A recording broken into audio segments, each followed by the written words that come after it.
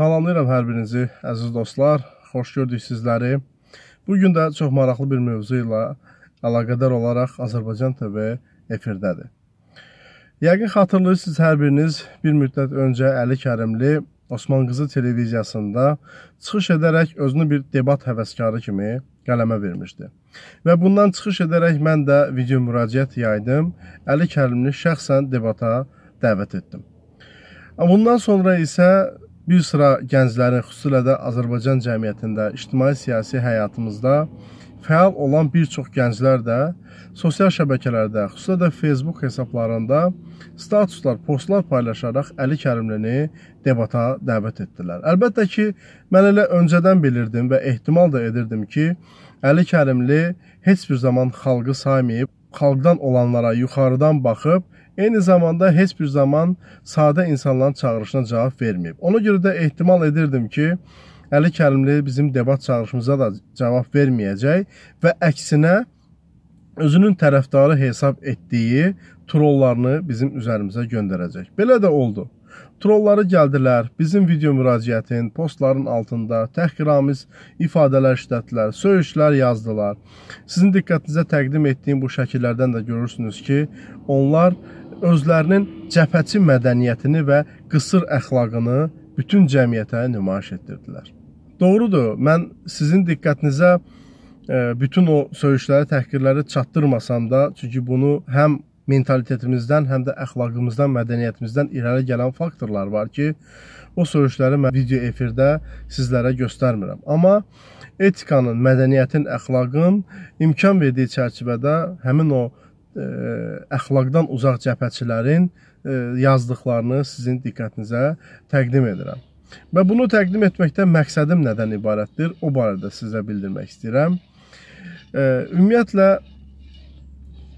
hər hansısa bir ideyaya, hər hansısa bir çağırışa təhqirlə, söyüşlə cavab vermək birincisi həmin qüvvələrin gücsüzlüyünün, iradəsizliyinin nümayişidir. İkinci bir tərəfdən isə bu cür təhqiramiz e, hücumların olunması, söyüşlərin söyülməsi, e, insanların ardıcıl olaraq sistemli olaraq təhqir edilməsi həmin o şəxslərin müdafiə etdiyi dırnaq arası liderlərin nə qədər qorxaq olduğuna işarə edir.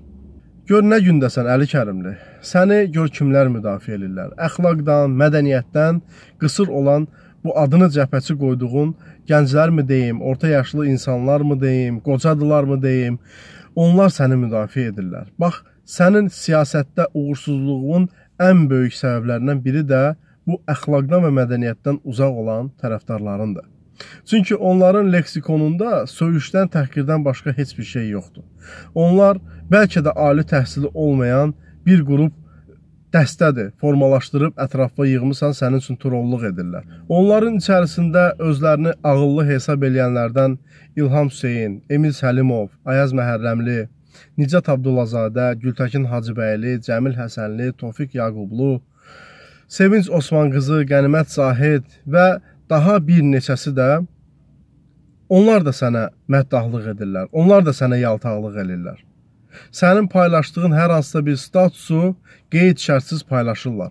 Onu layik edirlər, məcburi qaydada və oranın altına da məddah dolu rəylər yazırlar. Bax, sənin bədbəxtliyinin və uğursuzluğunun ən böyük səbəblərindən budur ki, ətrafında tənqidi fikir ifadə etməyi bacaran bir kəs saxlamırsan məcbur edirsən ki, hər kəs sənə yaltaqlıq eləsin və səni tənqid edənləri təhqir etsinlər. Bax, sənin ən böyük uğursuzluğun səbəblərindən biri budur.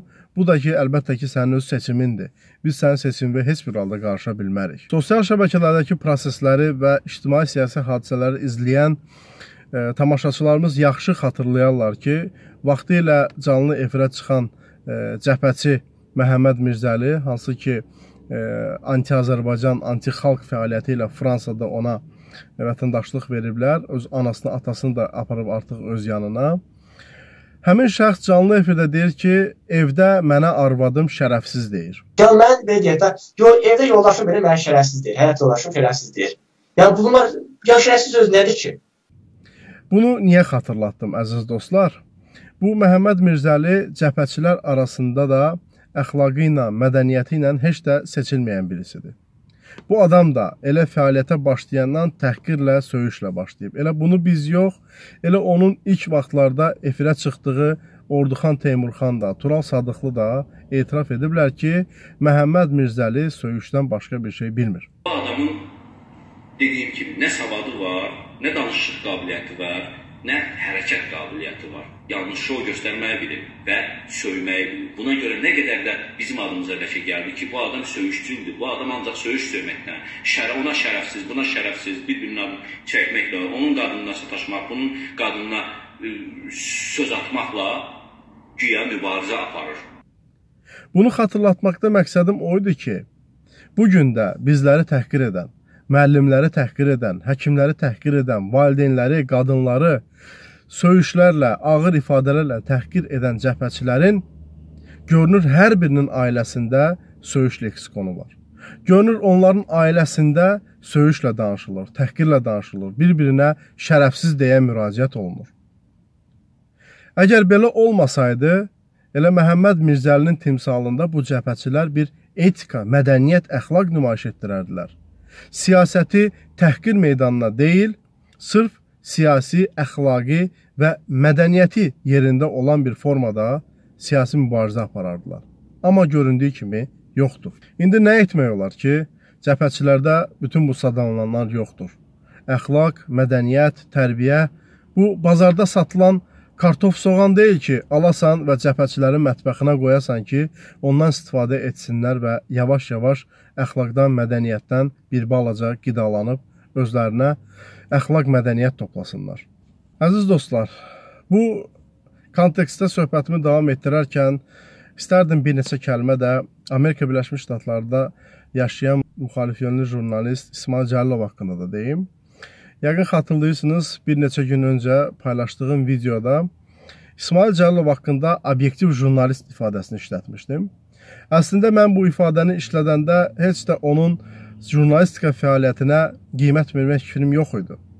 Sadəcə olaraq onun cəbhəçilərlə bağlı olan fikirlərini obyektiv hesab etdiyi üçün bunu dilə gətirmişdim və həmin videoya baxsaz bir daha bunun şahidi olacaqsınız. Amma görünür İsmail Cəlilovun daxilində də bir cəbhələşmə tendensiyası gedir və bizim fikrimizi özünü kiməsə sübut etmək məqsədi ilə kontekstdən çıxardır, başqa formada ifadə etməyə çalışır. İsmail Cəlilov, sən yadında saxla ki, istər Yeni Azərbaycan Partiyasının üzvləri, istərsə də hakimiyyətin tərəfdarları, hakimiyyətin müdafiə edən sosial şəbəkə istifadəçiləri heç bir zaman sənə qarşı təhqirə yol verməyib, səni söyməyib, sənin cinsi seçimini üzvə vurmayıb sənin ailə işlərinə qarışmayıb. Amma bunun əvəzinə biz dəfələrlə görmüşük ki, cəbhəçilər səni də, ailəni də təhqir ediblər, ən pis formada linç ediblər. Hər kəs çox yaxşı bilir ki, bizim cəmiyyətimizin böyük əksəriyyəti, xüsusilə də e, Əli Kəriminin fikirləri ilə razılaşmayan, onu tənqid edən, tənqidi üzünə vuran insanlar kimi elə sən də cəbhəçilərin təhqir hücumlarından, söyüşlərindən əziyyət çəkirsən. Ona görə də çalış yenidən obyektiv ol və bu məsələlərlə əlaqədar öz fikrini, mövqeyini ortaya qoy. Bu obyektivliyi isə çevirib başqa mənalarda kontekstdən çıxartma. Bir sözlə əziz dostlar, gördüyünüz kimi bu gün bütövlükdə Azərbaycan cəmiyyəti cəbhəçilərin tərbiyəsizliyindən, əxlaqsızlığından və mədəniyyətsizliyindən əziyyət çəkir.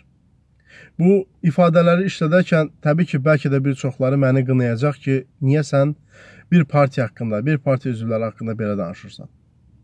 Əslində sosial şəbəkələrin təhqir yuvasına çevrilməsi, orada siyasi polemikaların, fikir mübadilələrinin, düşüncə e, mübarizəsinin aparılmasının təhqir və söyüş platformasına çevrilməsinin ən böyük səbəbkarlarından biri Əli Kərimlidir və onun tərəfdarı olan cəbhəçilərdir. Mən düşünürəm ki, məni qınamaq əvəzinə bu söyüşdən, təhqirdən, təhdiddən əziyyət çəkən hər bir insanlar, hər bir sosial şəbəkə iştirakçısı, jurnalistlər, ictimai xadimlər əlini daşın altına qoymalı və bu təhqiri, bu söyüş kampaniyasını həyata keçirən Əli Kərimliyə qarşı sözünü deməlidir. Heç nədən qorxmamalıdır, çəkinməməlidir. Birbaşa cəbhəçilərin ünvanına layiq olduqları şəkildə sözünü deməlidir. Bəlkə biz bütövlükdə Azərbaycan ictimaiyyəti olaraq bir ictimai qınaq təşkil etsək, Əli Kərimlini soyuş ritorikasından, təhqir platformasından uzaqlaşdırmış olarıq və beləliklə də siyasət meydanında olduğu kimi sosial şəbəkədə də bir sivil mübarizənin, sivil siyasətin, sivil siyasi e, polemikanın şahidi olmuş olarıq. Sağ olun dostlar, hələlik. Əli Kərimlidən bu millətə kömək olmadı, kül onun başına oldu. Elə İlham Əliyev yaxşı.